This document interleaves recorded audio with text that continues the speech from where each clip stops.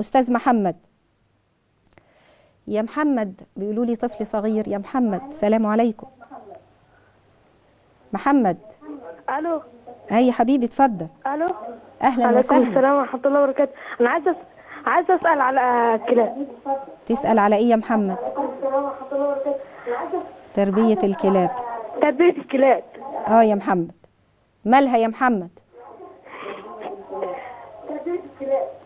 طب بص يا محمد ممكن وطي التلفزيون؟ وطي التلفزيون يا محمد. وحاطه عندي تحت في المحل. انت حاطه فين يا محمد؟ طب بس يا أستاذ عماد ممكن بس انه ننبه إنه التلفزيون نخفض صوت التلفزيون عشان أنا عايزه أسمع السؤال كويس. يا محمد. انقطع الاتصال. طيب معانا؟ ماشي يا محمد.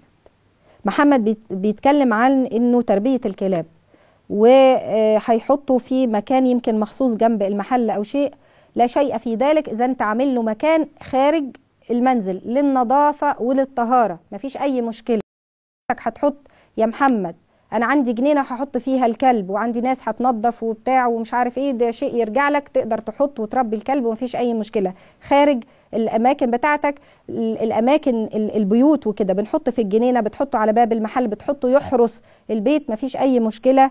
يا محمد على جاوبت على قدر اللي أنت كنت بتسأل عليه يا محمد. حتة التحرز من النظافة في مسألة الكلاب. ال- ال- المسألة دي من باب الطهارة والنظافة. يعني دين يعنى هذه العناية بمسألة الطهارة والنظافة مش معناها اضطهاد ال- الكلاب ولا اضطهاد الحيوانات بالعكس ده إحنا دين رحيم. لكن دين يعلمنا كذلك النظافة والطهارة. هي المسألة كلها في جزئية النظافة والطهارة. إن الإنسان دايما يكون يعني يحرص على إنه يكون على الطهارة الداخلية والطهارة الخارجية. نحن في ديننا الحنيف لا نأتي الصلاة لا نأتي العبادات هكذا. لابد الإنسان يكون على طهارة وهناك شروط لها وعندنا وضوء وعندنا اغتسال وعندنا هذه العناية الفائقة بأمر النظافة. فما نلبس الأمور آه، ببعضها والمسألة أهون بكثير. بس محتاجه إن إحنا هي المساله علم كله مفاتيح فهم فالإنسان لما بيفهم بي بي بيرتاح.